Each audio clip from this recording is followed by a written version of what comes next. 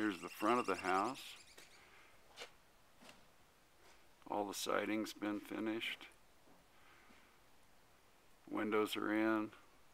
Doors are in. Deck is mostly finished.